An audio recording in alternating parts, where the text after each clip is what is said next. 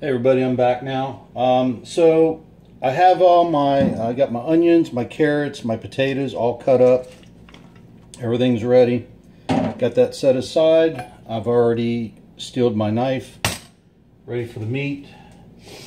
Now when you're when you're getting your stew meat, try to find you know a good quality meat, something that's really lean looking. It's okay to have a little bit of marbling in it. Marbling is the fat the, the veins that run through the meat. Uh, you want a little bit of that in there, and that helps with the flavor as it cooks. Um, but you don't want like excess fat. If you see like a lot of a lot of fat on a piece of meat, go ahead and trim it off just a little bit. Uh, we're going to cut these up into one inch cubes, and I'll be right back.